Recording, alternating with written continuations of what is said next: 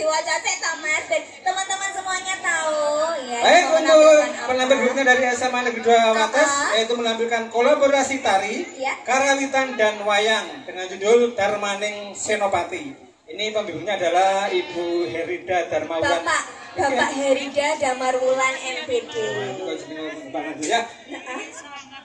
Di tengah kacau balau perang Agung Baratayuda, Prabu Kresna minta Sri Kandi untuk menjadi senopati perang dari Pandowo. Setelah mengetahui Resi Wisma yang akan menjadi senopati Kurowo, betapa kagetnya Sri Kandi karena dia akan menghadapi eyangnya sendiri. Akhirnya hari itu tiba,